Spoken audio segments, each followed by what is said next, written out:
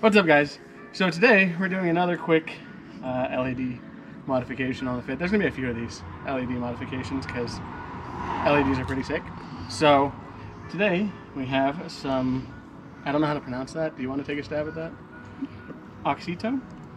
Global supplier for automotive. LED lights. We have already installed one last night to just kind of see how bright it is. So we'll turn this on real quick for you. And even with these really really faded headlights. Like there's a pretty clear difference if you want to rotate around and take a look at these headlights. So this one has the LED light in it. That has the old incandescent. Like I said, these headlights are very faded. We're gonna restore them. There'll be a video on that too. But you can already see how big of a difference that is. Like that's pretty big, all things considered. So we're gonna go ahead and install the other side, show you how to do it. Uh, you can follow us along on this. We'll take a quick look at what comes in your little package. That was definitely not smashed, but kind of was smashed, but it's fine. So you can see here we have the stock light we pulled out, and this is our new light. Uh, for the record, just so you know, these do fit in the same way that the stock lights do, but you know, sometimes they're just a little bit of a pain in the butt to get to. But we're gonna open this up and uh, do that. These are pretty nice. They're very small little LEDs. I'm gonna take a quick little close up of this. Very tiny on both sides. So we did save the harder side to do now. Oh, good. Yeah. Uh, a quick note. Headlights are always disgusting. I don't know why. Bulb grease? I have no idea. They're always disgusting. Put a glove on. I did my blow valve and I didn't get that dirty. But like, I would get dirtier doing this, you know?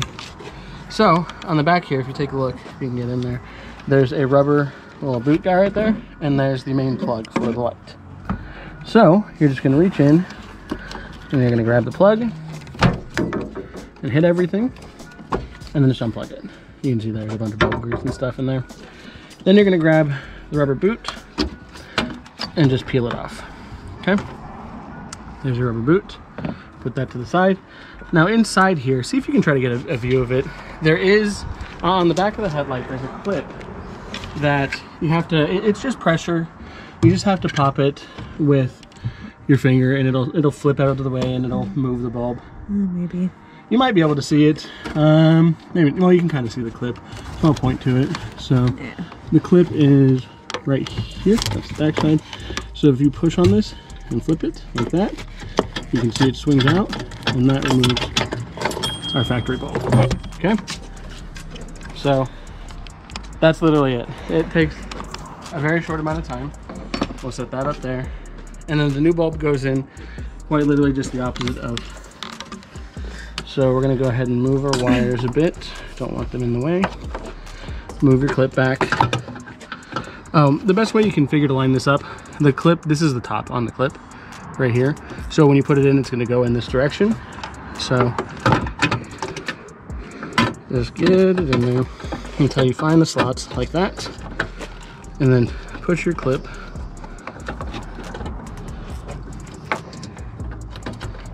back into place like that.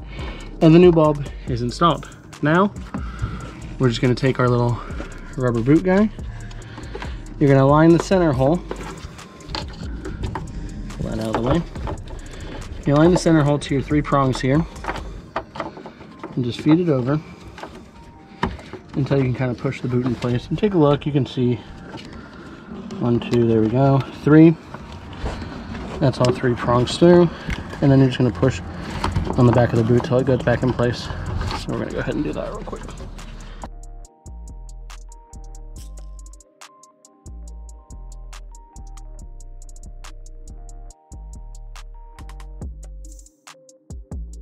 And then just take your plug, remember the top one is the middle.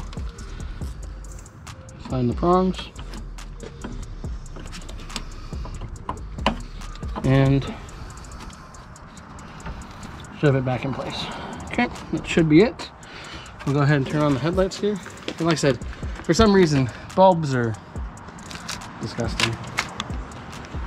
Hopefully that plugs on there anyway. We'll find out right now. And there you go. So, LED headlights, really quick, really easy.